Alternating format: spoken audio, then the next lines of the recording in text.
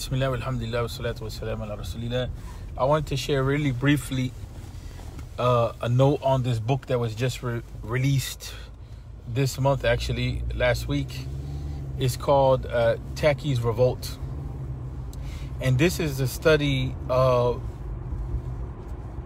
a revolt which was entitled Tacky's Revolt that took place in Jamaica. But the thesis is that abolition, the abolition of slavery, what they had little to do with white abolition. And this is this supports actually this this new book, this new research supports the theses that I had put out there before. And uh, one of the mashaykh he had actually sent uh, close friend of mine. He has sent me the book, and he said, "Yo, this book was just released on the 14th, and this is exactly the theses that you had. That the whole issue of the abolition of slavery is is really tied into a, series of continuous rebellions that have been taking place over the last 500 years or so." And so that's the main thrust of the thesis. and one of the things that he brings to the fore, you know, is the deep tie into uh, the West African struggle. And you know, one of the things that we have to realize is that a lot of times we, because of the way that we Europeanized and uh, cultural realities and even our own reality, we forget that a lot of us are still in these types of struggles till right now. If we look at what's going on in Puerto Rico, this is the same thing that has been taking place for hundreds of years. We're still on the same continuum you know, of dealing with realities and and and uh, and situations which revolve around the theme of liberation. You know, and so when we look at these things as as how they manifest themselves, whether it's the housing crisis or the wealth gap or you know the whole issue of what's going on with the discussion on uh, rights and liberty and justice and you know in uh, retribution and accountability, all of these things revolve around these same themes. So a lot of times, what happens with us, and I want to end on this note because I don't want this live to be too long at all. Uh, a lot of things that happens to us is that we fail to study ourselves and value ourselves. And I'm not saying on a basic level like people hate themselves. No, we don't. We don't value ourselves enough. So a lot of times we don't realize that our own experiences are what shapes the discourse of justice, are what shapes the concepts of freedom or what has impacted human history. You know, and when we come to realize that, you know, we will have a whole different conception of the world and reality, you know, and history. But as long as we, you know, are not in tune with our own history and we're not in tune of how that has shaped and impacted reality itself, we will never have a place in history. And this is one of the, the most problematic issues. You know, right now within the Puerto Rican struggle, as long as there's no consciousness that the people have a right to shape their history and have shaped their history and do shape the history, it's just the kindness of the people. The kindness of the people is not is not their foolishness or it's not their that they're brute. Like you know, one of the politicians in Puerto Rico, he said that you know people are basically dumb. That's not what it is. Is that people deep down are are loving and kind.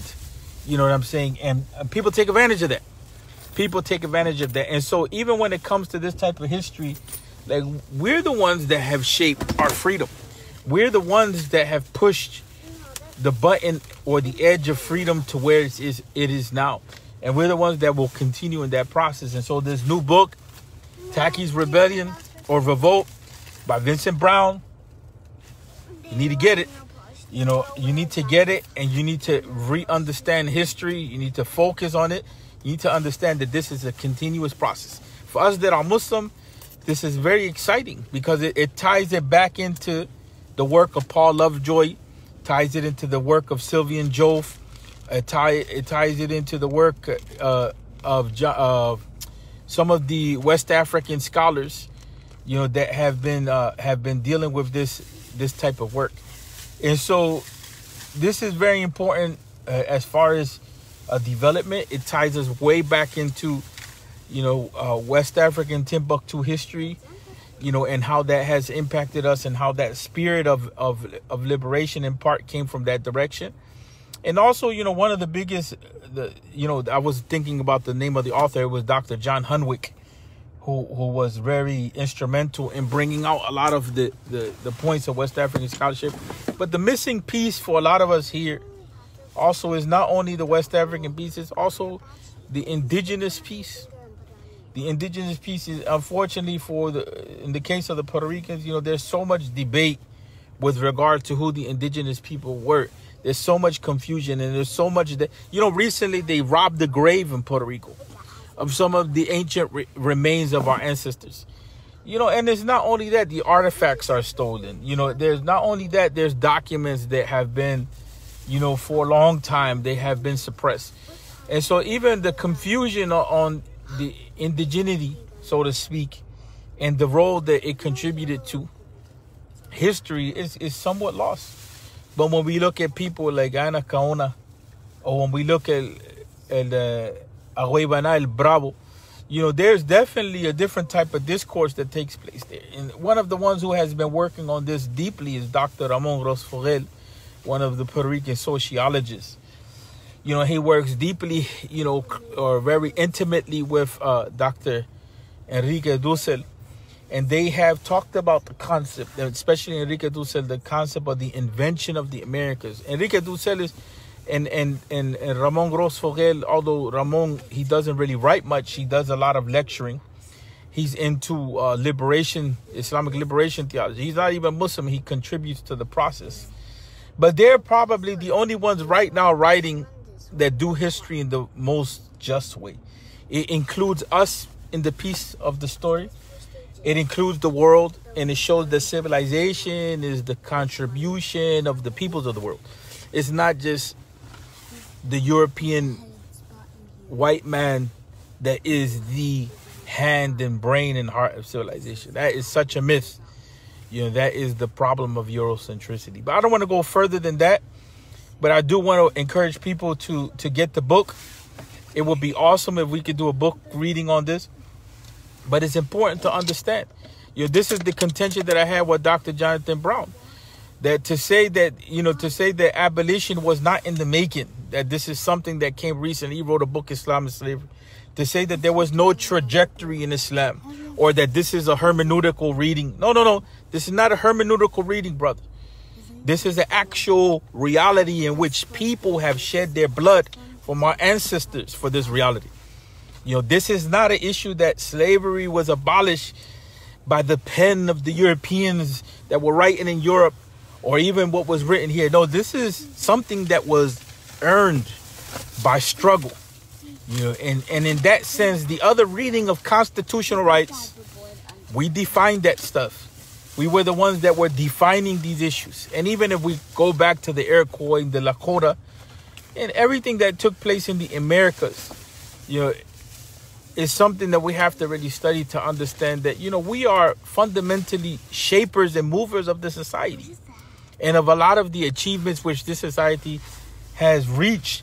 So the more that we write ourselves outside of history, the more that we write ourselves out of the narrative, the more that we marginalize our own self psychologically under the myth that we have no history or under the myth that we are nobody or we have no contribution, we do damage to ourselves.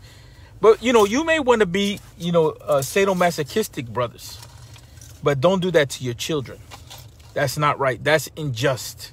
It's unjust that we do that to ourselves, but definitely do not do that to your children. It's not right that they have the, a false understanding of who they are and a false understanding of their fathers and their mothers.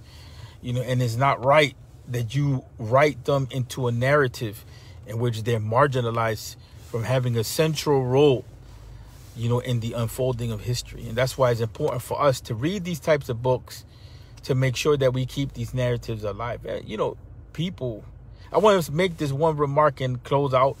You know, people were mad about Harriet, and I know that the movie Harriet has some issues, but I'm gonna tell you that movie was very, very energizing. I took my children to go see that joint, and you you leave out of there psychologically empowered. People may say, well, they may start no, no because the narrative is one of empowerment.